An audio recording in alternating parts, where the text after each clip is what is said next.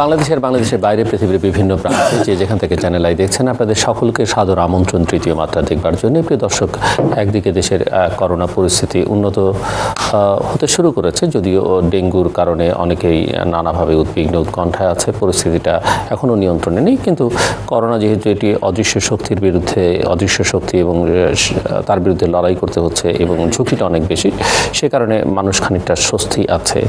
এবং এই স্বস্তির মধ্যেই আরেকটি স্বস্তিও বলা যেতে পারে খানিকটা অস্বস্তি তার সঙ্গে যুক্ত আছে। সেটি হচ্ছে যে আমাদের রাজনীতির অঙ্গন ধীরে ধীরে সারব উঠতে শুরু সারব হয়ে উঠতে শুরু করেছে। এবং দু বছরেরও মোটামুটিভাবে বেশি সময় বাকি থাকতেই নির্বাচন নিয়ে প্রচুর কথাবার্তা হচ্ছে। কেউ কেউ আগাম নির্বাচনের কথাও বলছেন যদিও অনেকেই সেই বিষয়ে খুব একটা আশাবাদী না এবং মনেও করেন না যে সেটি হওয়ার কোনো যৌক্তিক কারণ রয়েছে।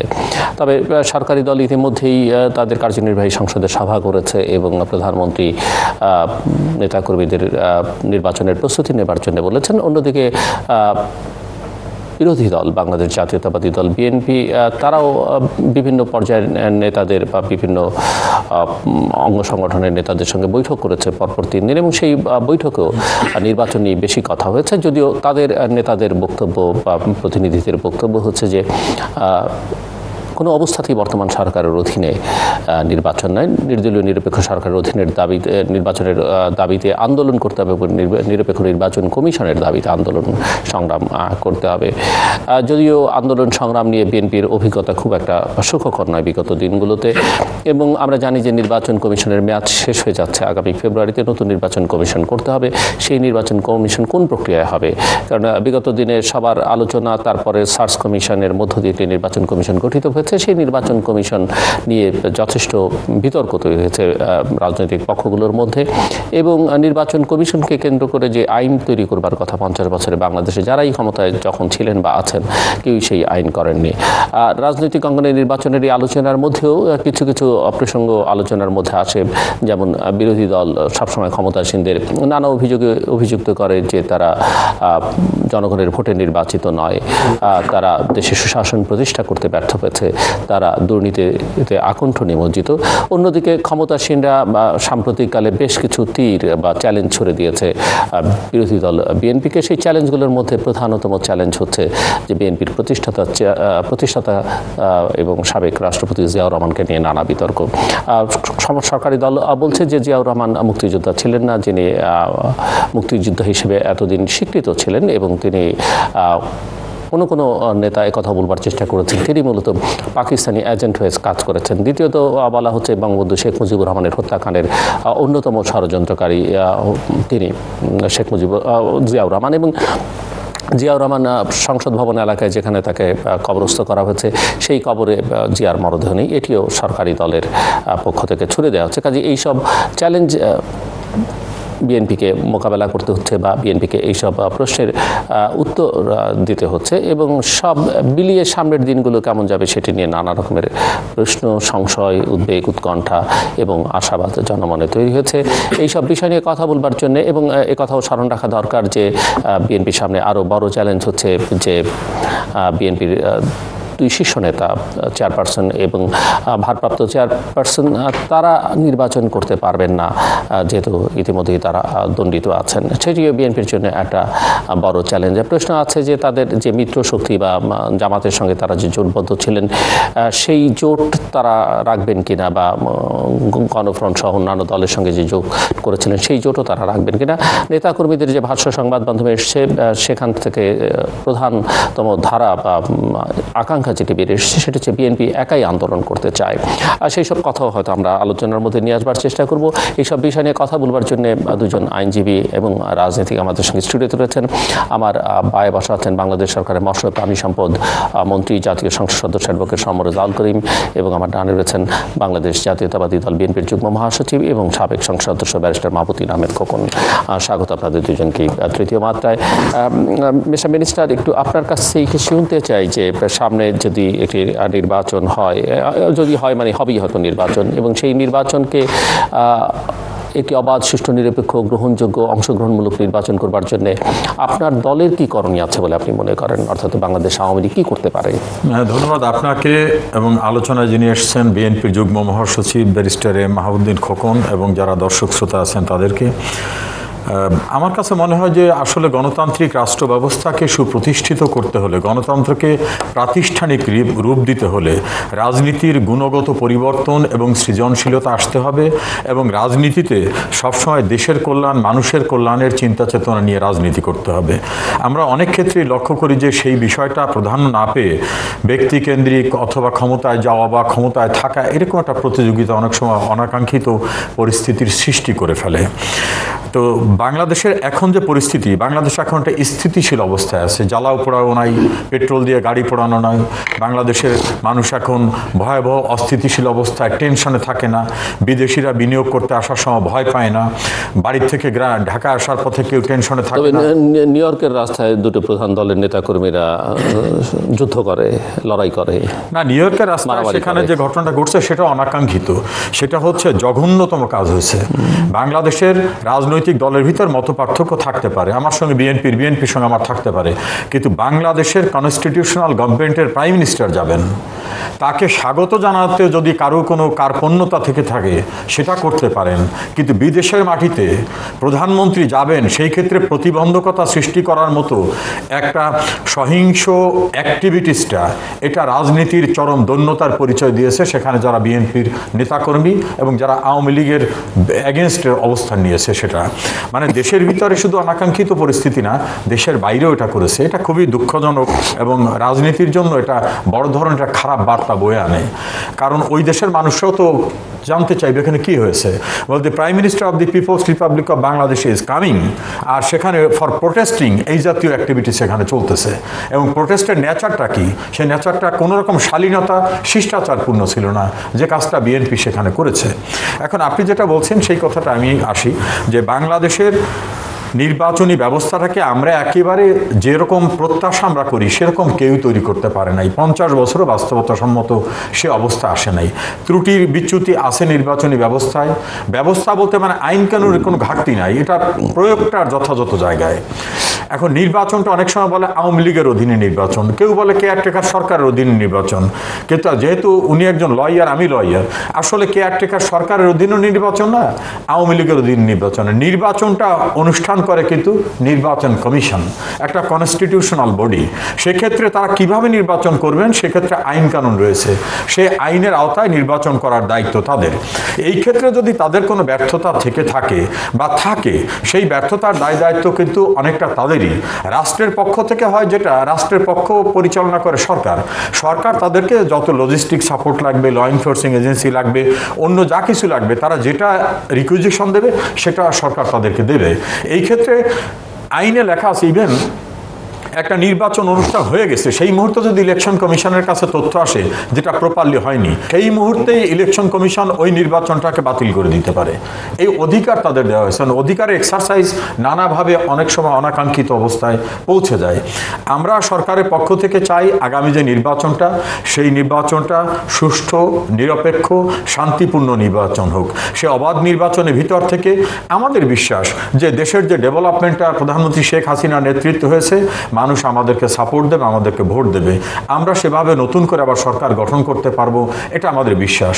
যদি মানুষ আমাদেরকে সাপোর্ট না করে আমাদের ভোট না দেয় যাদেরকে দেয় তারা নির্বাচন নির্বাচনটি ভালো করবার ক্ষেত্রে আপনাদের কি ভূমিকা ভালো করার ক্ষেত্রে আমরা মনে আমরা কোনো সময় কোনো জায়গা থেকে ভোট কারচুপির রাজনীতি করব না। আমরা সহিংসতা সৃষ্টি করব না। রাষ্ট্রীয় যে নিয়ম কানুন তার অধীনে চলবো। আমার যেভাবে পোস্টারটি করতে বলে আমি সেইভাবে এই যে সাম্প্রতিককালে কিছু নির্বাচন হলো সেখানেও আপনারা নিজেরা নিজেরাই তো সহিংসতা করে মানুষের প্রাণহানির ঘটনাও ঘটলো। না, সব সকল নির্বাচনটা একভাবে ধরা যাবে না এই কারণে। ধরেন বিএনপি, জিয়াউর রহমানকে শ্রদ্ধা জানাতে গেছে সেখানে নিজেরা মারামারি করছে। এটা কিন্তু অ্যাজ এ হোল চিত্র না। কাজে ওই যে স্থানীয় সরকার নির্বাচনে যে টুকটাক ঘটনা ঘটে, এটা ঘটে। রাজনীতিতে যেটা বললাম যে রাজনীতির গুণগত পরিবর্তন অনেকটাই হয়নি, সে কারণে এইটাকে হয়। আবার এখানে যদি বিএনপি খুব অ্যাক্টিভ রাজনীতিতে থাকতো প্রো রাজনীতি থাকতো, তাহলে আমরা বিএনপিকে মোকাবেলা করার ব্যস্ত থাকতাম। ওইটা না করার কারণে আমরা কিন্তু নিজেরা নিজেদের ভিতরে একটা কম্পিটিশন অনাকাঙ্ক্ষিত কম্পিটিশন লক্ষ্য করছি। এই জন্য আমি চাই ভালো রাজনীতির স্বার্থে, বিএনপি ভালো রাজনীতি করুক এবং নির্বাচনের স্বার্থে ভালো নির্বাচনের স্বার্থে আমাদের পক্ষ থেকে রাজনৈতিক ম্যানিফেস্টো থাকবে রাজনৈতিক এজেন্ডা থাকবে নির্বাচনী যে আমাদের প্রতিশ্রুতি থাকবে আমরা সেটা প্রচার করব আমরা কি কি ডেভেলপমেন্ট করছি সেটা করব বিএনপির কি কি ব্যর্থতা আছে সেগুলো তুলে ধরবো আমরা কোনোভাবেই নির্বাচনকে জনগণের ভোট জনগণ দেবেন। এই ক্ষেত্রে কোনো প্রতিবন্ধকতা যাতে না হয় সে প্রক্রিয়ায় আমরা অংশগ্রহণ করব। ব্যারিস্টার আহ, মাহমুদ্দিন খোকন বিএনপি আসলে কি করতে চাইছে? মানে অনেকটা দিগ্ভ্রান্তের মতো মনে হয় এক নির্বাচনে অংশ নিল না আরেক নির্বাচনে অংশ নিল অংশ নিয়ে কেউ কেউ জিতলেন। আগেই নির্বাচনটি বললেন যে নির্বাচনটি ভালো হয়নি। যারা জিতলেন তাদের সংসদে যাবেন না বললেন আবার কেউ কেউ সংসদে গেলেন একজন গেলেন না। এখন আন্দোলনের কথা বলা হচ্ছে এই সময় আন্দোলন হবে ওই সময় আন্দোলন হবে। সেই আন্দোলনে বিএনপি করেনি বলে অভিযোগ অনেকেরই। বিএনপির প্রতি যারা সহানুভূতিশীল তাদের। কিন্তু আসলে বিএনপি এই যে এখন আন্দোলনের কথা বলছে সেই আন্দোলন শেষ পর্যন্ত বিএনপি করবে কি না মিন করে কি না নাকি নির্বাচন করবে, নাকি নির্বাচনের বাইরে থাকবে? সো একটু বুঝতে চাই আপনার কাছ থেকে। প্রথমত হলো যেটা আমাদের মাননীয় মন্ত্রী সমরেশ সাহেব বললেন, নির্বাচন কমিশন আইন আছে, নির্বাচন ক্ষমতা আছে। হ্যাঁ নির্বাচন কমিশন আইন আছে এবং তারা নির্বাচন নাই, আইনের প্রয়োগ নাই। কারণ নির্বাচন কমিশন হলো সরকার তথাকথিত সার্চ কমিটি আর সুপ্রিম কোর্টকে কলঙ্কিত করছে সার্চ কমিটি। তারা সুপ্রিম কোর্টের অ্যাপ্রুভাল নেয় জাজ সাহেবদের ব্যবহার করে মানে নিরপেক্ষ দেখানোর জন্য। মূলত সরকারের দামেদার লোকজনকে তারা বানাচ্ছে, সুপ্রিম কোর্ট ব্যবহার করছে। দেখেন, ভোটের কথা বলা হয়, বাস্তবে ভোট হয় না। ভোট ভোট খেলা হয়। ভোট ভোট খেলা হয় কিন্তু ভোট হয় না। নির্বাচন কমিশন সাংবিধানিক প্রতিষ্ঠান। তারা রিটার্নিং অফিসার নিয়োগ করে, তাদের জেলা অফিসার আছে। রিটার্নিং অফিসার জেলা- জেলা ইলেকশন অফিসার আছে, উপজেলা আছে। তারা রিটার্নিং অফিসার নিয়োগ করে কাকে? ডিসিকে এসসি রিটার্নিং অফিসার নিয়োগ করে কে? কেউ নাকি আর ওরা তো এমপির আন্ডারে মন্ত্রীর আন্ডারে সারাক্ষণ কাজ করে। নির্বাচন কমিশন ইচ্ছা করলে তার নির্বাচন অফিসার যে, তাকে রিটার্ন অফিসার করতে পারে জেলায়। প্রশাসন লক্ষ্য করছে। প্রশাসন চালা government working under the government say mockery আমি মনে করি। সে মক্কারি যে, এবং ইন্ডিয়ার একটা জাজমেন্ট আছে যে, সরকারি কর্মচারীদেরকে রিটার্ন হিসেবে করা। জাস্ট এই লস ইন ইন্ডিয়াতে এটা রায়ের মধ্যে বলছে মকারি এটা। আমাদের এখানে মকারি হচ্ছে। দেখেন, নির্বাচন। ভোটাধিকার নেই। যে ছেলেটার বয়স আঠাশ বছর আঠারো বছর আঠারো বছরে সে ভোটার হয়েছে। ছেলে বা মেয়ে। সে হয়তো বিএনপি করে, সে হয়তো আওয়ামী লীগ করে, সে হয়তো কোনো রাজনৈতিক দল করে না। ভোট কিন্তু সে দিতে পারে নাই। কারণ বিএনপির ভোট দিতে দেয় না। সাধারণ মানুষ ভয় যায় না। সাধারণ মনে করে ভোট দিলে যদি ভোট দিল, নৌকা জিতবে, আওয়ামী লীগ জিতবে, ভোট না দিলেও নৌকা জিতবে। ভোটার গেলেও জিতবে, না দিলেও জিতবো। ঘোষণা নৌকা হবে। আর ওই ইভিএম আছে, প্রোগ্রাম দেবে, দেওয়া থাকবে, সারাদিন ভোট দেবে তো। সমরে দল সাহেবকে সিস্টেম তারপরে লাস্টে গণনা হবে আপনার পক্ষে? কিছু করার নাই। প্রোগ্রাম দেওয়া দেওয়া থাকবে, সেই প্রোগ্রাম আসবে। এমনকি আওয়ামী লীগ যারা করেছে যুবক। ছাত্র আড়াই বছর বয়স হয়ে গেছে। তারা ভোট দিতে পারে না। তারা ভোট দিতে গেলে কী হলো? এই ভোট দেওয়া হয়ে গেছে, তখন দেওয়া লাগবে না। এই অবস্থা দেশের। সো অ্যাকাউন্টেবিলিটিটা কোথায়? জবাবদিহিটা কোথায়? আমরা তো এই দেশ চাইনি। আমরা তো এই ডেমোক্রেসি চাইনি। আমরা চেয়েছিলাম স্বাধীনতার মূল মন্ত্র ছিল। সংগ্রামের মূল মন্ত্র ছিল ডেমোক্রেসি সার্বজনীন ভোটাধিকারের সম্মান রাখতে হবে। যে আট সাল থেকে আজকে এ পর্যন্ত কোথাও ভোট নাই। ভোট নাই কেন? এবং আজকে কিন্তু দেখেন বিশাল একটা প্রাচীন দল আওয়ামী লীগ। সে আওয়ামী লীগ কিন্তু আজকে জনগণ নির্ভর না, জনগণ বিশ্বাস করে না। তারা আওয়ামী লীগের নেতারাই বলছে। তোবাল আহমেদ সাহেব বলছেন, শেখ সেলিম সাহেব বলছেন, সমত সমরেশ দল সাহেব বলছেন যে আওয়ামী লীগ সরকার কি? না, আপনি বলেন না, আপনার ছাড়া বোধ এই আমরা নির্ভর সরকার হয়ে গেছে। অর্থাৎ তারা জনগণের ট্রাস্ট করে না। আজকে দেখেন, ধরেন, আওয়ামী লীগ কোন নির্বাচন ফেস করতে চায় না। পার্লামেন্ট বলেন ফেস করতে চায় না। জনগণের ভোটার বিশ্বাস নেই জনগণের উপর। ভোট যদি উল্টা পড়ে, ভোট দেওয়া লাগবে না। উপজেলা নির্বাচন, ভোট দেওয়া লাগবে না। নিয়ে নিচ্ছে। তারপর মেয়র ইউনিয়ন কাউন্সিল এমনকি স্কুল ম্যানেজার কোনো ইলেকশনও তারা ভোট ভোট দিতে চায় না যাতে অ্যাডক কমিটি কারণ মুন্সিপাল এখন ভালো ভোটের জন্য বিএনপি কি করতে পারে? বিএনপি একটা বড় রাজনৈতিক দল হিসেবে বিএনপির কি করণীয়? এখানে নির্বাচন কমিশন টমিশন এগুলো করলাম কারণ নির্বাচন কমিশন অধীনে সরকার না। সরকার পুলিশ সিভিল প্রশাসন তারা সরকার প্রধানমন্ত্রীর অধীনে। Parliament form of government we have now এখন নির্বাচন কমিশন অর্ডার দেবে একটা। লাভ নাই। মোহাম্মদ আলী ক্লের মতো শক্তিশালী লাভ হবে না। নির্বাচন কমিশন, প্রধান নির্বাচন কমিশনার। সরকার যদি বলে, পুলিশ এসপি আইজি সাহেব বলে দেবে, এই, কীভাবে হবে? সামরিক সেনাবাহিনীর লোকজন বলে দেবে, র্যাব বলে দেবে, এভাবে হবে। এখন কি করছে এটা? আমরা কোথায় যাচ্ছি? গণতন্ত্রের স্বাভাবিক ধারা বন্ধ হয়ে গেছে, নষ্ট হয়ে গেছে। মানুষ সার্বজনীন ভোটাধিকার নাই। মানুষ ভোট দিতে পারছে না। এবং সরকারকে, যে কোনো ব্যক্তিকে নির্বাচন না হওয়া থেকে অ্যাকাউন্টেবিলিটি নাই। এর পরিণামে কী হচ্ছে? পরিণাম হচ্ছে যেহেতু ডেমোক্রেসি অনেক কিছু কি স্বচ্ছ আনে। আস্তে আস্তে বাংলাদেশ দেখেন প্রতি মাসেই র্যাব বা ডিবি লোক জঙ্গি ধরে। এত জঙ্গি তো কখনো ছিল না বাংলাদেশে। বিকজ রাজনৈতিক আওয়ামী লীগ নিজেও রাজনীতি করেন। তারা আমরা নির্ভর প্রশাসন দিয়ে আইন শৃঙ্খলা বাহিনী চালায় দেশ। আর বিএনপি রাজনীতি করতে দেয় না। এটা মিটিং করতে দেবে না। পার্টি অফিসে মিটিং করতে দেবে না। কয় পুলিশের পারমিশন লাগবে? এটা জনসভা করতে দেবে না। আছে জনসভা? কয় দুই তিন বছর? বিএনপি জনগণকে জনগণ এগুলো চোখে দেখে না? জনগণকে সঙ্গে নিয়ে বিএনপি কেন আমি জনগণকে আপনি মাঠে নাম আপনি কি আপনি সিভিলিয়ান আপনি জিলু সাহেব সিভিলিয়ান আপনি সারা বাংলাদেশের পৃথিবীর মানুষ চিনে বাংলাদেশ চিনে। যতই শক্তিশালী হন না কেন এটা অস্ত্রধার কিন্তু জনগণের শক্তির কাছে তো কিছু না নেই। একটা বড় শক্তি তো কিছু একটা একটা পুলিশের কাছে হি হ্যাজ লিগাল আর্মস সে যে কোনো আপনাকে অপদস্থ করতে পারবে আপনি জানেন আমাদের প্রায় পঁয়ত্রিশ চল্লিশ লক্ষ নায়িকা কর্মী আজকে আমরা আসেনি। আপনি কি করছেন আপনি? আপনি পুরো প্রশাসন আপনি গত বারো বছরে আওয়ামী লীগের সময় আইনশৃঙ্খলা ডেঞ্জার জায়গায় নিয়ে যাচ্ছে দেশকে সংকটের থেকে নিয়ে যাচ্ছে মহা সংকটের দিকে আইনশৃঙ্খলা বাহিনীকে এই সরকার ক্ষমতা থাকার জন্য, লোক ক্ষমতার লোভে জনগণের মুখোমুখি করে দিচ্ছে। এবং এইটা আমি খুব খারাপ জায়গায় চলে যাচ্ছি। আমরা চাই না। আমাদের আইনশৃঙ্খলা বাহিনী, পুলিশ, র্যাব, তারপর অন্যান্য বাহিনী, তারা জনগণের মুখোমুখি হোক। জনগণের ভোটাধিকার কার্ড কিনে নেওয়ার জন্য তাদেরকে সরকার ব্যবহার করছে। তাহলে কিন্তু এক পর্যায়ে ক্ষোভ সৃষ্টি হয়ে যাবে। এবং এই ক্ষোভটা আমি চাই না। তাদের তাদের সামনে রাখতে চাই আমরা। জি আমার রেজাল্ট করি তাহলে তো উনি তো বিএনপি যুগ্ম মহাসচিব। আপনি বারবার প্রশ্ন করছেন যে ভালো নির্বাচন করার জন্য বিএনপি কি করবে। এর কিন্তু কোনো লাস্টে বলছে দ্বিতীয়ত- এখন যেটা হলো যে ওয়ান অপশন ওয়ান অপশন সব শেষ করে না না শেষ করি ওয়ান আবার বলছি ওয়ান অপশন আমরা নির্বাচনের চিন্তা করছি না। নির্বাচন খেলা নিয়ে চিন্তা করছি নির্বাচন খেলা নিয়ে চিন্তা করছি না। এই গভর্নমেন্ট থাকতে পারবে না নির্বাচনে।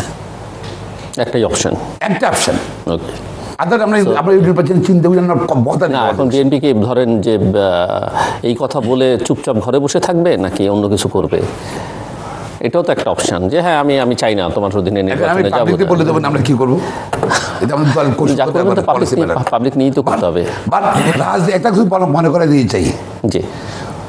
উনি মাননীয় মন্ত্রী ওনার মাধ্যমে উনি তার এত ক্ষমতা নাই ওনার মাধ্যমে সরকারে মনে করে চাই।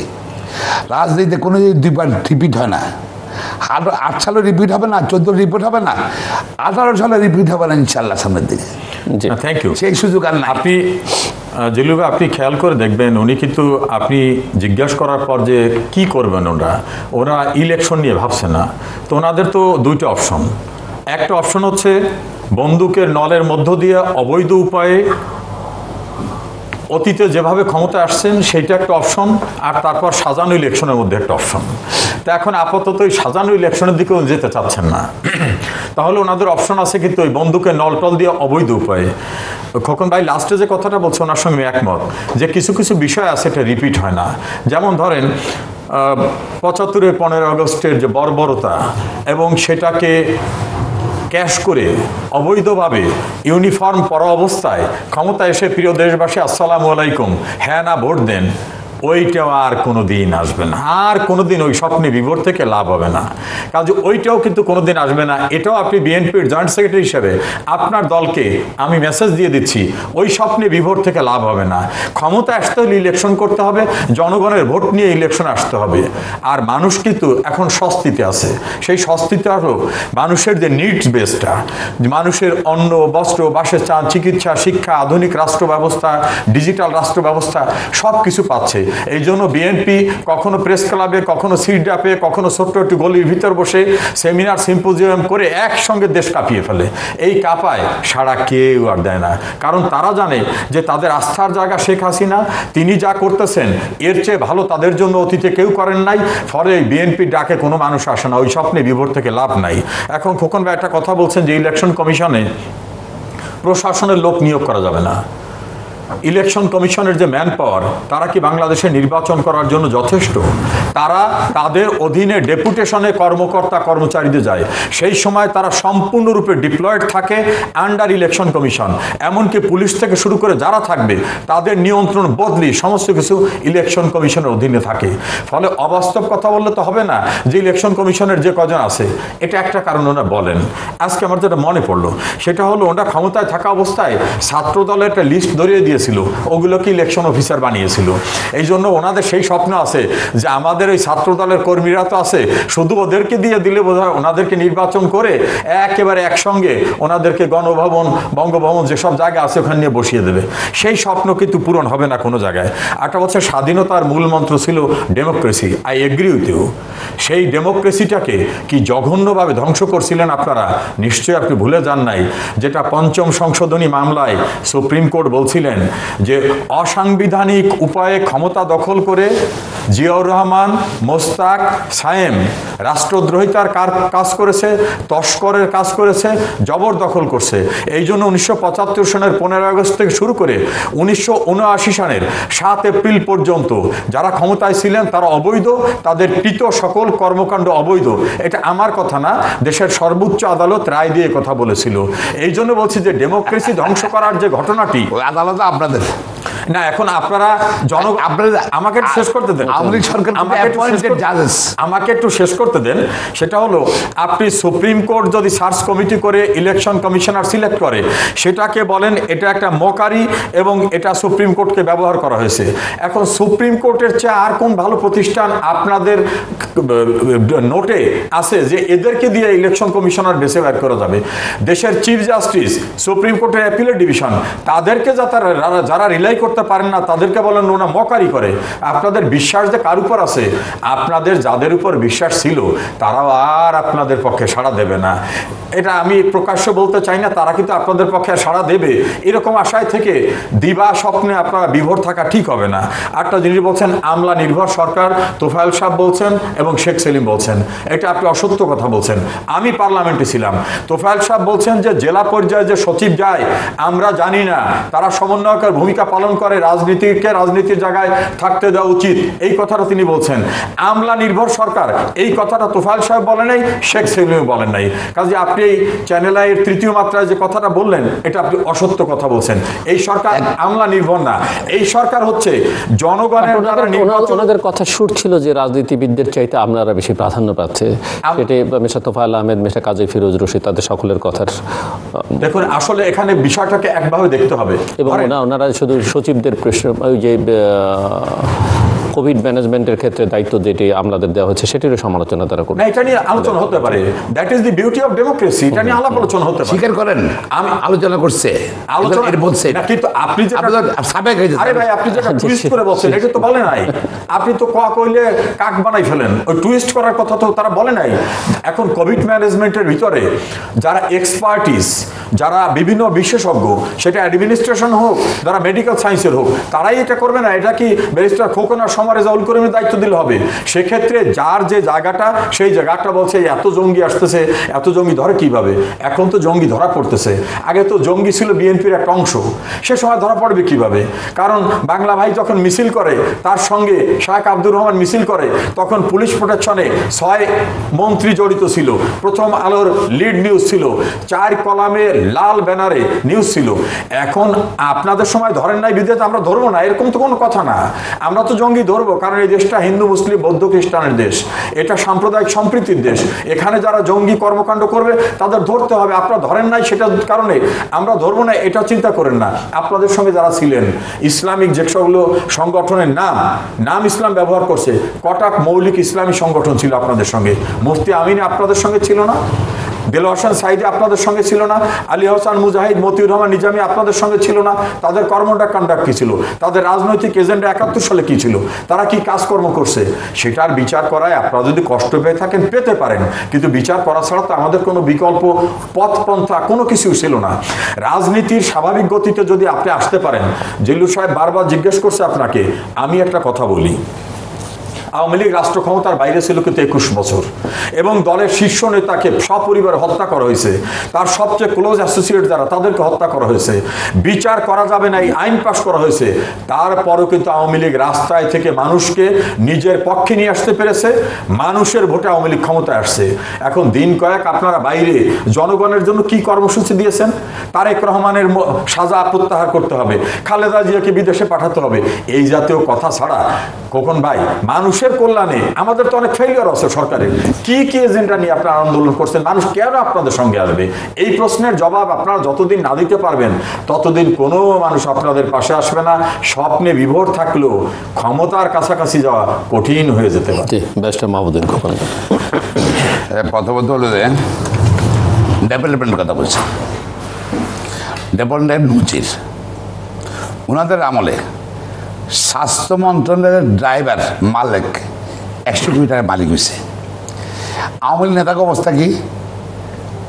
জি কে শামীম চারশো কোটি টাকার মালিক। শুধু প্রকাশ্যে। এবং খুব একটা নেতাবাদ নাই। ছয়ের বিরুদ্ধেই বদনাম আছে পত্রিকায়, আমি আট মাসে আটটা পত্রিকা রাখি। প্রতিদিনের পত্রিকায় এখানে এই দুর্নীতি এখানে ই অরেঞ্জ কি? দুর্নীতি। এখানে ই ভ্যালির দুর্নীতি হ্যাঁ? এবং স্বাস্থ্যমন্ত্রী আবুল কালাম আজ স্বাস্থ্যমন্ত্রী কি সংসদ বক্তৃতা দিচ্ছে, তার বিরুদ্ধে দুদক মামলা করতেছে। মানে এমন কোনো সেক্টর নাই যে সেক্টর কারও কারেকশন করছে না। তারা তারা জনগণ নির্বাচিত নয়।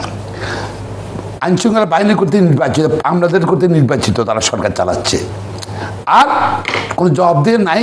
জানা যায় যত চুরি করি না কেন দুর্নীতি লুটি করি না কেন? বর্তমানের সময় তো ওরা আসি ওইটা আসি জনগণ কোনো চিন্তা জবাব দিতে তাদের নাই। দিতে দিতে নিয়ে যাবে জবাব দিয়ে সরকারের জন্য কেন ডেমোক্রেসি দরকার? আর ডেভেলপমেন্ট, যত রকম, যত মেগা পদে বড় পদে তত বেশি দুর্নীতি। প্রত্যেকটা জায়গাতে। এই ওনাদের সময় তো কি? একবার দেখুন সাত লাখ টাকা পর্দা চুরি, নাকি? বালিশ কাণ্ড, পর্দা কাণ্ড। এই দায়িত্ব সরকার না? আমাকে দায়িত্ব দাঁড়াতে পারবে? শুধু এটা এক্সাম্পল বাইরে এসছে প্রতিদিন ব্যাংকের এমডিন ব্যাংক খালি। কে নিছে? নিচে বিকালদার সাহেব নিছে। সে সে সরকারের বেসিক লোক ছিল। নিয়ে গেছে চার হাজার টাকা। চার হাজার কুড়ি টাকা। তারপর কি? আরও অনেকগুলো অনেকগুলো ব্যাংক ব্যাংক লুটপাট হয়ে গেছে। খালি টাকা খালি। দেশের অবস্থা, মানুষের অবস্থা খারাপ। দেশের অবস্থা খারাপ। আর যেটা ডেভেলপমেন্ট কসমেটিক ডেভেলপমেন্ট চেহারা সুন্দর হয়েছে। চেহারা কোনো ব্যাপার না। পার্লারে গেলে ভিন্ন রকম মানুষ বুঝতে তো রকম মানুষ হয়েছে তো এটা গল্প আছে। এক ফকির দাঁড়ায় ছিল এক পার্লারের সামনে। ভিক্ষা করে প্রতিদিন। তো সে বলতেছে, যারাই ঢুকে কেন মধ্যে কি কি বাইরে না কেন? পরে পুলিশে বলল পরে পুলিশ ভ্যান যাচ্ছিল? স্যার, আমার কাছে মনে হয় স্যার এখানের মধ্যে যে এখানে ঢুকে যায় পার্লারের মধ্যে সব মেরে ফেলে। কেন? যারা ঢুকে কারও বের, কেউ বেরো না। আসলে কসমেটিক দেওয়ার পর গিয়ে চেহারা চেঞ্জ হয়ে যেত? ফকির চিনতে পারে না। এখন আমাদের দেশে যে ডেভেলপমেন্ট ওই যে পার্লারের ওই মতো কসমেটিক ডেভেলপমেন্ট চালাচ্ছে তারা। বুঝছেন? লাভ হবে না। বিকজ প্রত্যেক ডেভেলপমেন্টের সঙ্গে আপনার কারাপশন জড়িত। কারখান জড়িত। আমরা এই ডেমোক্রেসি চাই না। এই কসমিক ডেভেলপমেন্ট চাই না। আপনি ধরেন করোনায় কী করলেন আপনারা? করোনা চুরি করলেন আপনারা? মানুষ মান- মানবিক হয়েছে সাহায্য করছে। সে সাধারণ সাধারণ মানুষ সাহায্য করছে আরেকজনকে। আপনারা আড়াই লাখ টাকা করে দিচ্ছেন দেখা যাচ্ছে দুশো লোকের টাকা গেছে এক এক মোবাইলে। আপনারা দশ টাকা চাল দিয়েছেন, গরিব দশ টাকা চাল দিয়েছেন, সেখানে চাল চুরি। আমরা শুধু এখানে ছোট্ট কাটছো বিগ বিগ প্রজেক্টে কোনটা চুরি? একটা কি, এখানে মগবাজার কি একটা ফ্লাইওভার বসে? বুলের জন্য চারশো কোটি টাকা, চারশো কোটি টাকা আপনার দণ্ড ওই যে নোয়াখালীর একটা কোম্পানি যেটা করছে মগবাজার। আচ্ছা দেখ তারপর ধরুন আপনার কি আপনার প্রত্যেকটা প্রজেক্টে প্রথম দুশো টাকা দুশো কোটি টাকা প্রজেক্ট ঠিক করেন তিন বছর কবে? তারপর এটাকে সরকারের লোকে মন্ত্রীর সঙ্গে আলোচনা করি এ, কাজ শেষ করতে পারে নাই? ঠিক আছে মেয়াদ বাড়াই দাও। মেয়াদ বাড়িয়ে দিলে টাকা বাড়া ছয়শো কোটি টাকা হইতেছে। সবাই ভাগচোকে নিয়ে যাচ্ছে রাশের টাকা। মানুষ নাই। আজকে জনগণ কি করবে? আজকে জনগণ যা জবাব দিলে সরকার চায়। আর পনেরো মধ্যে বলছেন অবশ্যই আমার দল বিএনপি, আমি নিজে। আমরা এটা ঘৃণ্য কন্ডেম করি। ইতিহাসের ঘৃণ্যতম কাজ এটা। পনেরো আগস্ট। কিন্তু পনেরো আগস্ট দেন কোন দল? আপনি আপনার, আপনারা সাবধান থাকবেন। পনেরো আগস্ট কিন্তু খন্দ মাস্টার, বাংলাদেশের মাস্টার প্রথম সামরিক স্মরণ জারি করতাম আওয়ামী লীগ নেতা খন্দক মোস্তাক আহমেদ। এবং খন্দক মোস্তাক আহমেদ ছিল আগের সরকারের মন্ত্রী ছিলেন। আপনি ভুলে গেছেন, আপনি নিশ্চয়ই সময় দাল সাহেব মনে আছে। এই খন্দকার মোস্তাক রাষ্ট্রপতি হওয়ার পর, আগের মন্ত্রীরা বাইশ জন মন্ত্রী শপথ দিয়ে তার সঙ্গে। আজকে জেনারেল শফিউল্লাহ বলেন, তিন বাহিনীর প্রধান, যারা আপনার এমপি বানিয়েছেন পরে এরা এসে তাকে আনুকতা প্রকাশ করল। শুধু তাই নাই পার্লামেন্ট ছিল। এই তো ওই পার্লামেন্টের মেম্বারের ছেলে ওদের ছেলে মেয়েরা এখন হলো মন্ত্রী, এমপি। হ্যাঁ?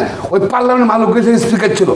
নিন্দা প্রস্তাবিত করেননি আপনারা। যে নাইনটি নাইন পার্সেন্ট এমপি ছিল আওয়ামী লীগের। আভ্যন্তরীণ কন্দন ছিল আপনাদের। হ্যাঁ, যে এখন সব জায়গায় বাঁচা বাটা হচ্ছে। এরকম আভ্যন্তরীণ কন্দলের বই প্রকার পনেরোই আগস্ট। আমরা চাই না এরকম ঘটনা করুক বাংলাদেশ। এবং জিয়া রহমান কী করেছে? এবং খোদার মোস্তাক আহমেদই ইন্ডিয়ামিটি একটা অর্ডিনেন্স জারি করেছিল।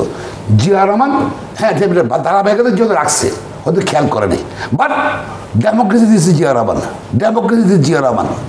বাংলাদেশে এবং আজকে ধরেন আজকে আজকে আওয়ামী লীগ এমপি বলেন আপনি আজকে তো আওয়ামী আওয়ামী লীগের রেজিস্ট্রেশন দিচ্ছে জিয়া রহমান নাহলে একসময় এখন বাক্সখানে থাকতেন আপনারা বাক্সখানে থাকতেন জিয়ারহমানের বদলে আজকে আওয়ামী লীগ শব্দ ব্যবহার করতে পারছেন আপনারা জিয়া রহমান সব রেজিস্ট্রেশন দেওয়া মানে কি আপনি দেশকে কীভাবে চালাবেন এইভাবে এইভাবে চালাবেন দেশকে ভোট ছাড়া আর কে ক্ষমতা দিল এই সংবিধান তো আছে নাকি সংবিধানের ক্ষমতা নেই। কিন্তু উনি তো বলছেন যে ওনারা তো ভুল ত্রুটি করছেন কিন্তু সেই কাজটা আপনারা করছেন না। আপনারা নেতার মামলা প্রত্যাহার নেত্রীর বিদেশ যাওয়ার বাইরে কিছু বলছেন মানে সেটি কেন বলছি আমরা এটা? আপনি বেগম খালেদাকে মামলা করছে কি দুদক? সরকারকে দুদক চালাকে সরকার? লেখে স্বাধীন। মহাডিম স্বাধীন। সরকার চালায় দুদক। এই দুদক চালায় সরকার। আবার বেগম খালেদা অসুস্থ। অ্যাটর্নি জেনারেল কে? সরকার আসছে বাংলাদেশ আসছে অ্যাটর্নি জেনারেল সরকারের পক্ষ থেকে বিরোধিতা করে। অসুস্থ বেগম খালেদ জামিন দিতে হবে না উনি উনি তোমার দল ভালো লয়ার আমার ভালো লয়ার আমি একসঙ্গে প্র্যাকটিস করি। উনি লাগবে না ওনার জুনিয়র যায় যদি যায় পাঁচ বছর সাদা জামিন হয়ে যেত। বেগম খালেদা জামিন পায় নাই। জামিন পায় না বেগম খালেদা যায় কী কারণে পায় না কন্টেম্প কোর্ট হবে? সেটা বলতে চাই না। তার কেমন ক্রেডিট কার্ড হয়তো আপনার পকেটও আছে, ওনার পকেটও আছে।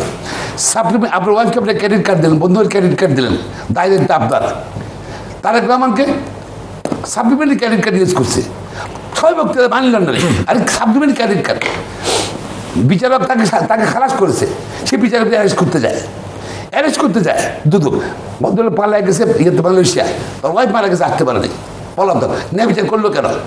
আর বিচার দ্বিতীয় তারা ঘটছে ন্যাক্কারজনক পৃথিবীতে এই অঘটন কখনো হয়নি প্রধান বিচারপতি সব সাতজন রায় দিয়েছে আর রায় হয়ে গেছে। বক্তৃতা দিচ্ছে রায় পরিবর্তন করতে হবে। তাহলে চার বছর দেওয়া হবে না। আর পরিবর্তন করেন চার বছর দেনে পরে বলে আপনি চলে যান বিদেশে। আপনি ক্যান্সার বলছি এসকে সিনেমা করলেন না প্রধানমন্ত্রী বললেন, আমার ক্যান্সার না আমার ক্যান্সার না। আরে তাদের বাহিনী টাইনি লাগে। আবার সিভিলিয়ানের ছিল একদম বুড়ো কেটে ছিল সে মারা গেছে কিছুদিন আগে হ্যাঁ? ফেসবুকে দেখছি আর কি, সেও নাকি অস্ত্র মস্ত্র নিয়ে গেছে সিনেমার বাসায়। হ্যাঁ? এবং নিয়ে তাকে বলে সে ক্যান্সার না। বললে না ক্যান্সার ক্যান্সার জানবে। বলে সে চিরকুট ফেলাই গেছে সাংবাদিকদের দেখেন আমার জোর করে পাঠিয়ে দিচ্ছে। সে আপনারা জানতে জানে। তারপর বিদ্যুৎ টেস্টমেন্ট করাইলো, দেশে আসবে আপনি পদত্যাগ দেশে আসতে পারে, পদত্যাগ করতে হবে। আ- সংবিধানে বলা আছে রাষ্ট্রপতিকে পদত্যাগ করতে হবে। বলে দেশে যেতে পারবেন না আপনি করে? পদত্যাগ করব? থাইল্যান্ডে? বলে না বাংলাদেশ এমবিসিতে পদত্যাগ করেন। এমবিসিতে পদত্যাগ করছে এখন বাংলাদেশের প্রধান বিচারপতি। রিফিউজি, আমেরিকা, কানাডা ঘুরে বেড়াচ্ছে। আর এখানে ন্যায় বিচার হবে? ওই সিনা, এসকে সিনা আতঙ্ক, প্রধান বিচারে এসকে সিনা আতঙ্ক, মমতার আতঙ্ক সব জায়গায় এভাবে চলছে। এভাবে চলছে। সব জায়গায় তাস প্রশাসনের তাস আজকে তো অযোগ্য অথর্বদেরকে তারা ওই যে জয়েন্ট সেক্রেটারি উপরে তারা তো আওয়ামী লীগ করে নাকি? দাদা আওয়ামী লীগ করছে নাকি বাবা আওয়ামী লীগ করছে নাকি তারা প্রমোশন হবে আর অযোগ্য তার তার সততা চিন্তা করেন না সরকারি কর্মচারীদেরকে। সবাই শেষ হয়ে যাবে নাকি? আসছি আসছি আসছি। সততার চিন্তা করেন না ব্যক্তির চিন্তা করেন না আপনার মেধার চিন্তা করেন না। আওয়ামী লীগ করলে joint secretary additional secretary secretary আবার একটা তাদের পুলিশের একই অবস্থা। আপনি কি পড়াশোনা ভালো ভালো ভালো পড়াশোনা না হলে দেশ ভালো চালাতে পারবেন একটা দেশকে মিস্টার মিনিস্টার দেশকে শত বছর বিয়ে দিচ্ছেন। আপনার যদি আওয়ামী সরকার চলে যাওয়ার পর এবার উনি বলুন। দেশকে রিপেয়ার করতে পুনর্গঠন করতে আরও একজন লাগবে। যেটা আমি করে যাচ্ছি। আপনার শেষ হয়েছে? বলতে পারেন আমি বলার কি আছে আপনাদের। শুধু আমরা আছি আমাদের জনগণ আপনাদের সমর্থন। না ধন্যবাদ ওই বিএনপি তো রাজনীতি টিতি নেই কোথাও মিছিল মিটিং কোনো কিছুতে নাই আজকে আপনার প্ল্যাটফর্মে পুরোপুরি একটা পল্টন বানাই ফেলছে। তবে এই প্রোগ্রাম যারা দেখবে তারা বুঝতে পারবে যে বিএনপির কি দেউলীয় অবস্থা শুনেন আপনার মতো আপনার আপনার মতো অসুস্থ কথা সাজাই বলতে পারি না আমার এটা আমার দুর্বলতা। না তবে একটা সুবিধা হয়েছে আপনার সম্পর্কে মানুষের টুকটাক যে ধারণা ছিল আজকে যারা এই শো দেখবে তারা ধরে নেবে বিএনপির যে দেউলিয়াপনা আপনার ভিতর পুরোপুরি সেটা ঢুকছে। আমি এক এক করে আপনার ছোট ছোট কয়েকটা প্রশ্নের রিপ্লাই তাহলে আর কি বলব না লাস্টে না একটু বলি। সেটা হলো আপনি দুর্নীতির কথা বলছেন ই ভ্যালি ই অরেঞ্জ ইত্যাদি ইত্যাদি হলমার্কস ডেস্টিনি ইসলাম গ্রুপ এই দুর্নীতি অতীতেও ছিল এই দুর্নীতিটাকে ধরার কারণে যদি মনে করেন যে ধরতেছে কেন আমরা না ধরলে কিন্তু কেউ টের পেতো না। এই যে ইভেলি ই অরেঞ্জ এর বিরুদ্ধে কেউ কিন্তু কমপ্লেন করে নাই। ডেস্টিনির বিরুদ্ধে কেউ কমপ্লেন করে নাই। সরকার তার নিজের জায়গা থেকে এটাকে দুর্নীতি মনে করে আমাকে আমাকে না না প্লিজ প্লিজ প্লিজ অ্যালাউ করুন মানুষ টাকা মানুষ টাকা উদ্ধার? It's very it's very bad আপনি আমাকে প্লিজ একটু অ্যালাউ করুন। মানুষের টাকার উদ্ধার কীভাবে বল আপনি বলে লিখতে দয়া করে। ইবেলি ইয়ে মানুষের কনসার্ন আপনারা কি গণতন্ত্রে বিশ্বাস করেন? তাহলে আমাকে একটু বলতে দেন। আপনি বলতে আপনি বলবেনই। আচ্ছা বলুক না আমি বলছি যে সরকারের কাছে এসে কেউ কমপ্লেন না করা সত্ত্বেও কিন্তু Hallmarks Destiny Islam group Evaly e Orange সহ বিশাল বিশাল ভাবে যারা দুর্নীতি করছে সরকার তাদের ধরতেছেন আইনের আওতা গণমাধ্যমে উঠে এসছে। হ্যাঁ এবং তাদেরকে জেলেও পাঠাচ্ছে। তো এইটা কিন্তু আপনাদের সময়, আপনাদের পত্রিকার শিরোনাম হয়ে আমি প্রথম আলো রেফার করব। প্রথম আলো, একটা বড় গ্রুপের কাছ থেকে টাকা নিয়ে খুনকে কীভাবে সমঝোতা করতে চেয়েছিল, আপনার পার্টির এখন যিনি প্রধান যার দায়িত্বপ্রাপ্ত প্রধান, প্রথম আলো শিরোনাম ছিল সেটা। তৎকালীন স্বরাষ্ট্রমন্ত্রী কি কাজ করছিলেন, এটা আসছিল। আমি বলছি যে সেই কাজটি এখন করা হয় না, এখন দর হয়, এখন কোনো সমঝোতা করা হয় না। তাতে আওয়ামী লীগের ইসমাইল হোসেন চৌধুরী সম্রাট হলেও তাদেরকে ছাড় দেওয়া হয় না। আওয়ামী লীগের নেতা কর্মীরা হলে তাদের বিরুদ্ধে মামলা হয়, চার্জশিট হয়। এখন দুর্নীতি ধরার কারণে যদি বলেন যে এই দুর্নীতি হচ্ছে, তাহলে আপনাদের মতো যদি স্টাইল চালাতাম যে দুর্নীতি হয়ে যাবে, আমরা কেউ ধরবো না। সেটা তো আপনাদের মতো শেখ হাসিনাটা বিশ্বাস করেন না। নাম্বার ওয়ান নাম্বার টু আপনি বলছেন, রাজনীতির অনেকগুলো অনাকাঙ্ক্ষিত অধ্যায় নিয়ে আসছেন যখন আপনার বলতে হয়।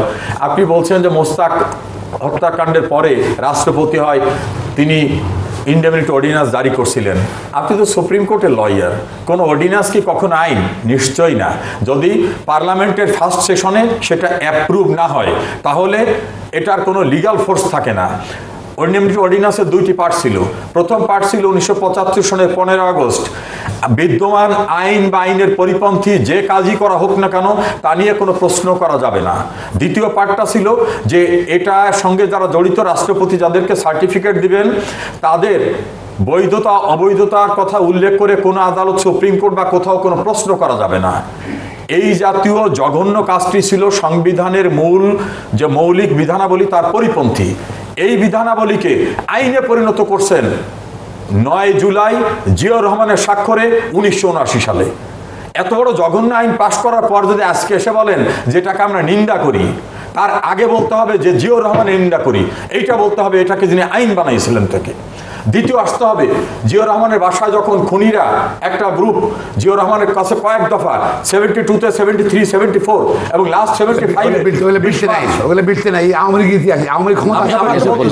আমাকে একটু বলতে দেন আমি যে ডকুমেন্টের ভিত্তিতে বলছি declassified document American high commission থেকে যেটা কমিউনিকেট করা হয়েছিল মিজানুর রহমান খানের বইটা দেখবেন আপনি। এটাকে আমেরিকান হাই কমিশন কিন্তু চ্যালেঞ্জ করে নাই। সেখানে লাস্ট বিশে মার্চ বঙ্গবন্ধু খুনিরা জিয়ার কাছে যখন গেল, তখন জিয়া বলল, আসো বাইরে, লনে যে কথা বলি। সেখানে যে বললেন যে, আমি নিজে নেতৃত্ব দিতে পারব না বা যেতে চাচ্ছি না। তোমরা যদি সফল হতে পারো, সফল হয়ে আমার কাছে। এবং ল্যাঙ্গুয়েজটা কি? গোয়া হেড গোয়া হেডের বাংলা কি? বঙ্গবন্ধুকে খুন করতে যাবে, জিয়াউর রহমান বলো গোয়া হেড এগিয়ে যাও। এইভাবে বঙ্গবন্ধুকে খুন করার গোয়া হেড টিমের মাস্টার মাইন্ড এবং নেতৃত্ব দানকারী জিয়র রহমানের দলের কর্মকর্তা হয়ে বঙ্গবন্ধুর খুনিদের ব্যাপারে কন্ডেম করার সাথে জিয়র রহমানকে একবার কন্ডেম করলে মানুষ আপনাদের উপর আস্থা রাখবে বিশ্বাস রাখবে। হ্যাঁ সেদিন আওয়ামী লীগের কিছু দুষ্কৃতকারীরা আওয়ামী লীগের বিশ্বাসঘাতকতা যারা করেছেন তারা মোস্তাকের সঙ্গে গিয়েছিলেন। কেউ বলেন চাপে গিয়েছিলাম কেউ বলেন এইভাবে গিয়েছিলাম। আমি স্টিল মনে করি তারা সেদিন সুবিধা ভোগ করতে খুনির সঙ্গে গেছিল। এখন আছে অনেকে। আমি আমাকে এখন আছে এখন আছে। সেই বাকশালের অন্যতম সদস্য ছিলেন জিয়র রহমান যিনি সাত দিনের মাথায় শফিউল্লাহকে সরিয়ে নিজেই কিন্তু সেনাপ্রধান হয়ে গেছিলেন। এবং একটা মকারি করে তিনি বিচারপতি সায়েমকে সরিয়ে, আপনি একটা প্রশ্নের জবাব দেবেন, আমার সোলারটা শেষ হলে। কোনো চাকরিজীবী কি রাষ্ট্রপতি হতে পারে? আইনে পারে না। জিয়র রহমান যখন চাকরিজীবী ছিলেন, সেনাবাহিনীর কর্মকর্তা ছিলেন, তখন তিনি সার্ভেন্ট অব দি রিপাবলিক। তিনি কীভাবে বললেন যে, আমি রাষ্ট্রপতি, আমি চিফ মার্শাল অ্যাডমিনিস্ট্রেটর। এখানেই তো তিনি রাষ্ট্রদ্রোহিতার কাজ করছেন। চাকরিজীবী কখনো রাষ্ট্রপতি হতে পারে না। এই কাজটি আপনার নেতা করছেন। আবার গণতন্ত্র দেওয়ার কথা বলছেন। জিয়র রহমান আমৃত্যু, রাতে কারফিউ জারি করে সেনাবাহিনীর ভিতরে, বিমান বাহিনী, সেনাবাহিনীর যারা প্রতিপক্ষ ছিল, নির্মমভাবে তাদেরকে হত্যা করার ভিতর থেকে শেষ দিন পর্যন্ত কারফিউ রাজনীতি ছিল? উনি কোনো গণতন্ত্র দেন নাই। গণতন্ত্র হত্যা করছেন, উনি গণতন্ত্র দেন নাই। একটা উদাহরণ দিয়ে বলছেন, খুব ভালো বলছেন উদাহরণটা, যে ওই যে বিউটি পার্লারে ঢোকে তারা কসমেটিক নিয়ে আসে এখন আপনারা কি চান যে চেহারা অতীতে যা ছিল তাই থাকবে? ভাঙ্গা রাস্তা ভাঙ্গা বিল্ডিং নদী পার হইতে হবে নৌকায়। আপনারা কি তাই চান? শেখ হাসিনা পদ্মা সেতু করছে নিজের টাকায়। এটা কসমেটিক। শেখ হাসিনা আট লেনের রাস্তা করতেছে, নোয়াখালী আপনার বাড়ির থেকে যাচ্ছে যেটা। এটাও কসমেটিক। আজকে ভাঙ্গার দিকে যেয়ে দেখেন কি রাস্তা ডেভেলপমেন্ট হচ্ছে, এটা কসমেটিক। কর্ণফুলী নদীর নিচের থেকে টানেল হচ্ছে, এটা কসমেটিক। বাংলাদেশে থার্ড যে টার্মিনালটা হচ্ছে এই টার্মিনালটা হবে হিথ্রো স্টাইলে টার্মিনাল এটা কি কসমেটিক আজকে গ্রামের শতভাগ বিদ্যুতায়িত হয়েছে, এটা কসমেটিক বাংলাদেশের একজন মানুষ গৃহহীন থাকবে না, এটা কি কসমেটিক একটা লোক না খেয়ে মারা যায় না, কোথাও লঙ্গরখানা খুলতে হয় না, এটা কি কসমেটিক বিধবা ভাতার থেকে শুরু করে শতভাগ ভাতা দেওয়া হচ্ছে, এটা কসমেটিক মুক্তিযোদ্ধাদের ভাতা দেওয়া হচ্ছে বিশ হাজার টাকা, এটা কসমেটিক বাংলাদেশের মেয়েদেরকে পড়াশোনা বিয়ে পর্যন্ত সকল কিছু ফ্রি করে দেওয়া হচ্ছে, টাকা দিতে হবে না, বইয়ের টাকা দিতে হবে না, এটা কি কসমেটিক মানুষের জীবন মানের যে উন্নয়নটা ঘটছে ওয়ার্ল্ড আজকে রিকগনিশন দিয়ে সাস্টেইনেবল ডেভেলপমেন্ট সলিউশন নেটওয়ার্কে শেখ হাসিনাকে গত তিন দিন আগে, একদিন আগে শেখ হাসিনাকে যে অ্যাওয়ার্ড দিয়েছে, এটাও কি কসমেটিক বিশ্ব নেতৃবৃন্দ শেখ হাসিনাকে বলতেছেন, সৎ, শ্রেষ্ঠ, পরিশ্রমী প্রধানমন্ত্রী তিনজনের অন্যতম, এটাও কি কসমেটিক জাতিসংঘের মহাসচিব, চীনের প্রেসিডেন্ট এরা এসে বলতেছে ডেভেলপমেন্ট দেখতে গেলে এবং ডেভেলপমেন্টের ম্যাজিশিয়ানকে দেখতে গেলে বাংলাদেশে যাও শেখ হাসিনাকে দেখে আসো। এটাও কি কসমেটিক আপনাদের দৃষ্টিতে কিছু হবে না। একটা ফোক গানের একটা লাইন আছে। হায়রে কপাল মন্দ, চোখ থাকি তো অন্ধ আপনারা তো অন্ধ হয়ে গেছেন। বাসায় বসে যে ভিডিও কল করেন, এই ভিডিও কলটাও কি কসমেটিক এটা কি শেখ হাসিনার অবদান না? এই ডিজিটাল ব্যবস্থাটা সে করে নাই। অথচ সাইবার কানেকশন নেন নাই আপনার নেত্রী বলছেন যে দেশের তথ্য পাচার হয়ে যাবে।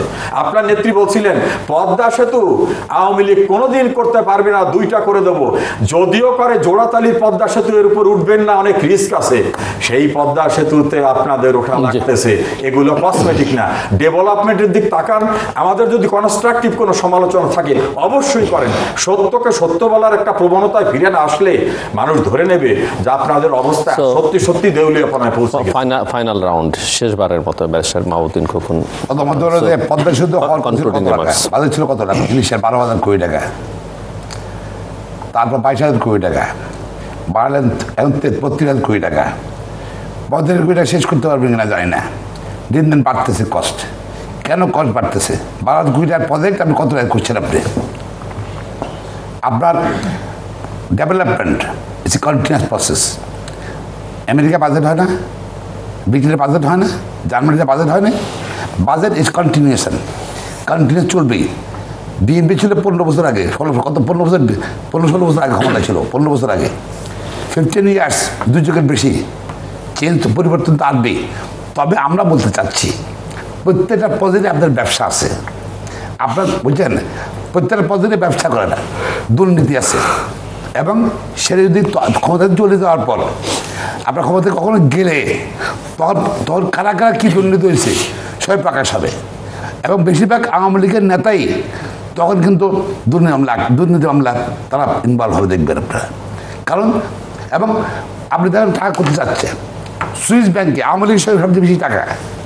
আপনার পত্রপত্রিকা আসতেছে, বিদেশে ছোট্ট ছোট্ট একটা নেতা আওয়ামী লীগের, তারাও চলে গেছে বিদেশে, টাকা জমাচ্ছে। কেন? ভয়টা কি আপনাদের? ভীত আছেন। কারণ প্রশাসন যদি একটু উলটপালট হয়ে যায় আপনার নাই। ক্ষমতায় নাই। এটাই। না কোনো খবর আছে? আমি যেটা বলছি আর কোনো খবর আছে? আচ্ছা শোনেন। আপনি বলছেন যে কখন কখন ক্ষমতা নিল? খন্দকার মোস্তাক আমাদের বিরুদ্ধে কু করল খালেদ মোশারেফ খালেদ মোশারেফ কি আওয়ামী লীগের পক্ষে কু করেছিল? মোটেও না। ক্ষমতা দখল করতে দখল করে তেসরা তেসরা উনি পদ ছিলেন তেসরা নভেম্বর। এবং সে জেল, তারপর জেল আত্ম হলো, তার ক্ষমতার সময়। ওই সময় ও চার দিন, সাত দিন জেল আত্ম হলো মোস্ত ইয়ার ইয়ার, খালেদ মোশারেফের সময়। তার নট অনলি দ্যাট আপনার পনেরো আগস্ট খনি থেকে বের করে দিল বিদেশ থেকে, এবং জিয়া রহমানকে গ্রেপ্তার করল, সে ক্ষমতা নিতে চেয়েছিল। পরবর্তীতে সিপিজনের বিপ্লব যে জিয়া রহমান ছাড়া পেলেন এবং আসতেন এরা কিন্তু জেনারেল শফিউল্লাহ এরা কিন্তু ক্ষমতা সব এরা ডেপুটি সে ডেপুটি ডেপুটি ডেপুটি চিফ ছিল সেনাবাহিনীর। এবং পরবর্তী সায়েম সাহেব ছিল। দেশের সামরিক শাসন চলতেছে। সাবসিকুয়েন্টলি অনেক পরে এসে জিয়া রহমান দায়িত্ব দায়িত্ব না তখন ডেপুটি চিফ হুম, তখন তার আগে উনি চিফ হয়ে গেছেন। জিয়াউর রহমান কিন্তু সাত দিনের মাথায় খালেদ পনেরো মোশাররফের স্বাধীনতা অভ্যুত্থান- সেনাপ্রধান। খালেদ মোশাররফের অভ্যুত্থানের আগে deputy chief না।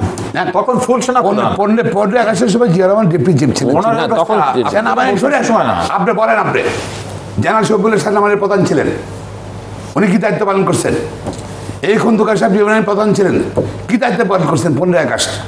তাকে আপনি এমপি বানাইলেন এই আওয়ামী লীগ সরকার, এই বর্তমান আওয়ামী লীগ। জেনারেল শফিউল্লাহকে এমপি বানাননি আপনি? এই খন্দকারের মন্ত্রী বানান এমপি বানাননি আপনি? এস টি ইমাম সাহেব মোস্তাকে শপথ পড়ালেন। তাকে আপনি বুঝতে পারেন নাই? সরকার আসছেন? বেতন দেন নাই? সবাইকে নিয়ে আসেন আপনারা। আর জামাত ইসলাম বলছেন আপনি? জামাতের বন্ধু তো আপনারা। আপনারাই তো। পঁচানব্বই, ছিয়ানব্বই সালে জামাত, আওয়ামী লীগ এবং জাতীয় পার্টি যৌথ আন্দোলন করে। মিটিং করেননি আপনার নিজামের সাথে? মিটিং করেন। এবং বিএনপি ক্ষমতায় টাইনে নামাইতে হবে আপনার বন্ধুত্ব আপনারাই করেছেন প্রথম। এখন জামাত কোনো ছাত্র আমাদের আপত্তি নেই। আমরা ভয় ছাড়ি না। কারণ কি জামাত আপনার পুরাতন বন্ধু। যদি বিএনপি ছেড়ে দেয় তাহলে আমলিক নাকি? না, জামাত নাকি না না না শোনেন শোনেন। আমরা ভয় ছাড়ি না আওয়ামী নিয়ে যায় কিনা?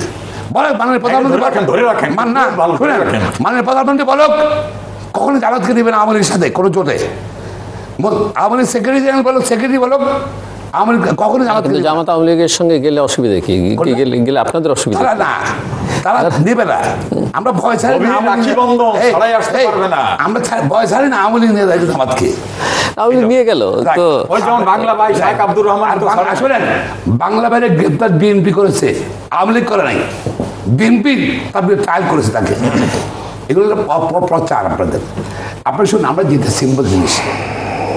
আমরা শেখ হাসিনা যে আন্দোলনটা করেছিল আওয়ামী লীগ পঁচাত্তর ইয়ে, ছিয়ানব্বই যে আন্দোলনটা করেছিল আমার ভোট আমি দেবো যা খুশি তাকে দেবো। এখন এখন কি সে অধিকারটা নাই আমার ভোট দেওয়ার অধিকারও নাই টাকা খুশি টাকাও দুইটা সেটাও সুযোগ নাই। মাঝখানে মেশিন ইভিএম ডান পাঠাচ্ছেন আপনি আর আপনি বলছেন যে আমি কর্মকর্তা না রিটার্নিং অফিসার বলছি। Returning officer Asian officer returning officer সরকার থাকতে পারবে না থাকা উচিত না মকার এইটা না, এটা ভালো প্রস্তাব দিচ্ছেন এটা নিয়ে আলোচনা হতে পারে। না না উচিত উচিত না। অন্য কর্মকর্তা থাকবে। এখন তো এখন তো সেটা নাই। আমরা জবাবদিহি সরকার চাই। ওইটা একটু আমরা আওয়ামী ওইটা একটু বলবেন। যে ছাত্র দলের সব নেতাদের যে ইলেকশন অফিসার বানাইছিলেন ওদের নেতৃত্বে ইলেকশন হলে ভালো হয় কিনা?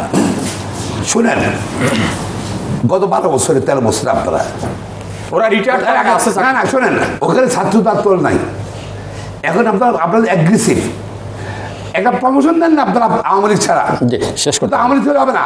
তার বাবা আওয়ামী লীগ কিনা? দাদা আওয়ামী লীগ কিনা? পুলিশে ওই করে রাখছেন আপনি। কি সিভিল প্রশাসনে সব জায়গায় আপনার পলিটিক্স জি। চাই শোনেন। ধন্যবাদ। আসেন আওয়ামী লীগ আমরা চাই আওয়ামী লীগ গণতন্ত্রে ফিরে আসুক। আওয়ামী লীগ একটা বিশাল দল। এটা কিন্তু জনসমর্থন আজকে দেওয়ালিও হয়ে গেছে। দল কেন ভয় তারা ধন্যবাদ। দেখেন মানে একটু আওয়ামী লীগ একটু জনসমর্থন দেওয়ালিও হয়ে গেছে। একটু সময় শেষ শেষ দেওয়ালিও হয়ে গেছে শেষ করতে হবে। গণতন্ত্রে ফিরে আসেন। একটু শেষ করেন আমাকে সরকার আসে বলতে দেন সময়টা চলে যাবে। আপনি ভোটার থেকে ফিরে দেন। একটু সময় দেন না। গণতন্ত্র ফিরে দেন। উনি উনি বলুক ওনার দেখেন। এবং আপনার কিন্তু ওনার সময় সময় নেই। this is the- this is the- এটা হচ্ছে ওই বিএনপির ওই চরিত্র। অন্য ওই কেউ ওই আর গণতন্ত্র- না আগের মতো আর হবে না। দিতে হবে। কথা। আপনি ধন্যবাদ। on, আমাকে একটু সময় দেন।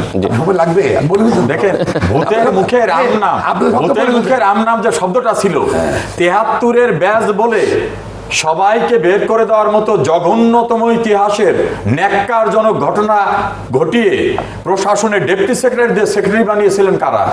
এই বিএনপি এই বিএনপি। আমার অভিযোগ আমার অভিযোগ হ্যাঁ, আমার অভিযোগ অস্বীকার করতেছে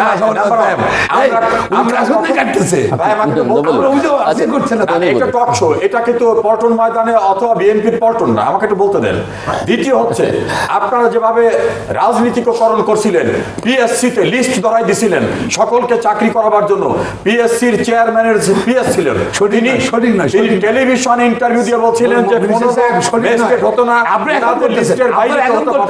আপনার সাব ইন্সপেক্টর রিক্রুট করেছিলেন যার হাইট পর্যন্ত হয়নি তাদেরকে রিক্রুট করেছিলেন এই কাহিনীগুলো কিন্তু এদেশের মানুষ বলেনি আমরা প্রশাসনকে রাজনীতিকরণ করি না আপনি বলেন, আমার কথা শোনেন আরে ভাই একটু দেন। আপনার কথা জাতি বালিশ কাহিনী বালিশ কাহিনীর জাতি আসতেছে, জাতি। শোনেন না বালিশ কাহিনীতে আমি গণপূর্ত মন্ত্রী ছিলাম যাদেরকে আমরা ডিটেক্ট করেছিলাম সেই কাহিনীর যে এক্সিকিউটিভ ইঞ্জিনিয়ার ছিল তিনি আপনাদের একটা ইঞ্জিনিয়ারিং ইউনিভার্সিটির ছাত্র দলের নেতা ছিল। আমি সেখানে কিন্তু রাজনৈতিক কারণ ধরবেন সে বিএনপি না না চৌত্রিশ জনকে সব বিএনপি ছিল না। ওরা দায়িত্ব দেন কেন? ছাত্রলীগ করে আসা লোক তাদেরকে আমরা ধরেছিলাম। এখন ধরাটা যদি অপরাধ হয় আমার লোকেরা করে আমার কথাটা একটু শোনেন ছাত্র দলের নেতারা কি কাজটা করে আপনি নিজে জানেন না? হ্যাঁ। সরকারের কাছাকাছি ছিলেন কি কারবারটা করছেন পিএসসি কে ধ্বংস করে দিয়েছেন আপনারা। আমলাতান্ত্রিক ব্যবস্থাকে ধ্বংস করে দিয়েছেন আপনারা। পুলিশকে ধ্বংস করে দিয়েছেন আপনারা। আর আওয়ামী লীগের নাম- নাম থাকলেও সেনাবাহিনীর একজন লোককে রিক্রুট করার কোন সুযোগ নাই। সেনাবাহিনীর থেকে সাফাই করে লাভ হবে না বাস্তব ভিন্ন। আপনি আমাকে বলতে দেন। আচ্ছা, আমাকে একটু বলতে দেন। আপনি করতে জুডিশিয়ারি নিয়ে কথা বলছেন। এই কথা আপনাদের মুখে শোভা পায় না। জেলা বিএনপির সভাপতি কাজী এটি মনোয়ারকে সুপ্রিম কোর্টের বিচারপতি বানিয়ে পার্লামেন্ট যারা বয়কট করছিল তাদের পার্লামেন্টে যেতে হবে রায় দিয়ে ছাত্র দলের সেক্রেটারিকে পাশে বসিয়ে রায় প্রেস ব্রিফিং করছিল আগেরহাট জেলা বিএনপির সভাপতি। ইতিহাস এমন। কাজী এটি মনোয়ার আপনি তখন কোর্টে আপনি তখন কোর্টে অস্বীকার করবেন না এই বাস্তবতা অস্বীকার করবেন না। কোনে তো দেখি না কাজী এটি মনোয়ার সাহেব জেলা বিএনপি সভাপতি ছিল না তাকে জজ এখন অনেক আছে। দিয়ে অনেক আওয়ামী লীগের নেতা ছিল অনেক জাজ আছে আপনি আমার বলছেন আপনি বলতে চাই না আমাকে আমি আমাকে। আপনি জানেন আমাকে বলতে আপনি জানেন না কারাগার আমি আপনি শেষ খুব করুন। আমি জানি আওয়ামী নেতা ছিল। শিবিরের নেতাদেরকে তো আপনারা জজ বানাইছেন না, জানি পনেরোই ফেব্রুয়ারির এমপিকে আপনারা জজ বানাইছেন আমি জানি এবং তারা এখনও বহাল আছে আমাকে তো ওদিকে যাবেন না আপনি বলছেন বিচার বিভাগ নিয়ে ঢালাও কথা বলছেন তাই প্রসঙ্গিক ক্রমে আমি দু একটি কথা আপনাকে বললাম আমি মনে করি তাহলে আসলে একটা আছে। জজ নিয়ে যত না, একটা তখন থেকে তাকে নিরপেক্ষ না, আমরা- একটা- আছে। শেষ শেষ করতে হবে ভাই আপনি অনেক কথা বলছেন নীতিমালা করেন আপনি শেষ করতে হবে। করেন নীতিমালা করা হয়েছে। করেন না কেন? নীতিমালা করা হয়েছে। ওনা করা হয়নি। আপনারা নীতিমালা কেম হাসানকে কীভাবে বয়স বাড়িয়েছেন মানুষ ভুলে আরে নীতিমালা এখন করেন না আপনি। আপনারা কেম হাসানকে অসৎ উদ্দেশ্যে কীভাবে বয়স বাড়িয়ে তাকে কেয়ারটেকারের চিফ করতে চাইছিলেন? মানুষ ভুলে গেছে। না। মানুষকে বলে নাই। বিচারপতি মাহমুদুল আমিন চৌধুরী বিচারপতি হামিদুল হককে বাদ দিয়ে কীভাবে ইয়াজউদ্দিন আপনাদের রাষ্ট্রপতিকে কেয়ারটেকারের চিফ করছিলেন? মানুষ ভুলে গেছে। মানুষ কেউ জন্য নাই। যে আপনারা ভোট বকুল দিতে ভাই কেউ বলে নাই কেউ বলে শেষ শেষ করতে হবে। মইনু আহমেদকে বাংলাদেশে ফয়জুল্লাহ এই, করে শুনেন, করছিলেন। বাংলাদেশে মানুষ মন্ত্রী- কিন্তু মন্ত্রী কেউ বলে চলে নাই। বিচার হয়। ভোট বিচার বাংলাদেশে। শেষ মন্ত্রী করতে চলে বিচার হয় বাংলাদেশে।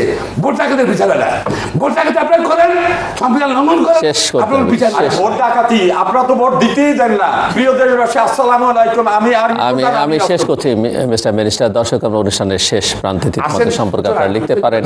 ডাকে মিল এস এম এস এর মাধ্যমে ইন্টারনেটে আমাদের অফিসিয়াল ওয়েবসাইট অথবা সোশ্যাল মিডিয়াতে যেসব পেজ রয়েছে সেসব পেজে আপনারা আপনাদের মতামত রাখতে পারেন। আর আপনার আপনাদের মতামতে আমাদের অনুষ্ঠান তৃতীয় মাত্রা আপনি দেখতে পাবেন প্রতি বৃহস্পতিবার এবং শুক্রবার। বাংলাদেশ আমরা দুটোই সোমবার সকাল সাড়ে এগারোটা এবং শুক্রবার দুপুর দেড়টায়। দেখবার আমন্ত্রণ রইল তৃতীয় মাত্রা পর্বটি আপনি সামাজিক যোগাযোগ মাধ্যমে ফেসবুকে সরাসরি দেখতে পারেন। ফেসবুক এখন তৃতীয় মাত্রা লাইভ স্ট্রিমিং হচ্ছে। টুইটারও আপনি দেখতে পারেন তৃতীয় মাত্রা লাইভ স্ট্রিমিং শেখানো হচ্ছে। আইএস ডিভাইস আপনার অ্যাপ স্টোর থেকে তৃতীয় মাত্রা অ্যাপটি ডাউনলোড করতে পারেন। তৃতীয় মাত্রা দেখবার জন্য অনুষ্ঠান সম্পর্কিত তথ্যাদি জানবার জন্য টেলিভিশনের পর্দায় তৃতীয় মাত্রা না দেখতে পারলেও ইউটিউবে যে কোনো সময় আপনি আহ, তৃতীয় মাত্রা চ্যানেলে তৃতীয় মাত্রা দেখতে পারেন। মাহবুদ্দিন খোকন এবং আহ, মিস্টার সমালোচন করে অসংখ্য ধন্যবাদ এই আলোচনা অংশ নেওয়ার জন্য। দর্শক দুজন আইনজীবী এবং দুজন রাজনৈতিক জমজমাট বিতর্ক করছিলেন। কিন্তু এই বিতর্কের মধ্যে দুদিক থেকেই নানাভাবে অভিযোগ পাল্টা অভিযোগের সুরের মধ্যে এই আকাঙ্ক্ষা আছে। এখন বাস্তবায়নের দায় কার কে কতটুকু করবেন কার কি ভূমিকা সেটি নিয়ে হয়তো আলোচনা হতে পারে বা চুলচেরা বিশ্লেষণ হবে। সেটি হচ্ছে যে গণতন্ত্র এবং উন্নয়ন দুটোই আমাদের দরকার। দুটোকেই সমান্তরাল গতিতে আমাদের দরকার এবং চলতে দিতে হবে।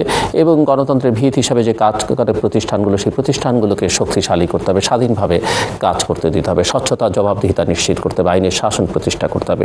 এর কোনো বিকল্প নেই। আমরা যতই উন্নয়নের কথা বলি না কেন, সেই উন্নয়নকে টেকসই করতে হলে এইসব প্রতিষ্ঠানগুলোকে শক্তিশালী করা, ব্যবস্থাকে সুনিশ্চিত করার কোনো বিকল্প নেই। আমরা আশা করব যে আমাদের রাজনৈতিক নেতৃত্ব সামনের নির্বাচনকে সামনে রেখে আর এখনও দু বছর সময় আছে এই বিষয়গুলো নিজেদের মধ্যে মত বিনিময় করবেন, আলোচনা করবেন, একটি সিদ্ধান্তে উপনীত হবেন। তাদের মনস্ততে পরিবর্তন আসলে বাকি সব এমনিতেই ঠিকঠাক হয়ে যাবে। দর্শক, আমাদের সঙ্গে থাকবার জন্য অসংখ্য ধন্যবাদ। আপনাদের সবার জন্য শুভকামনা।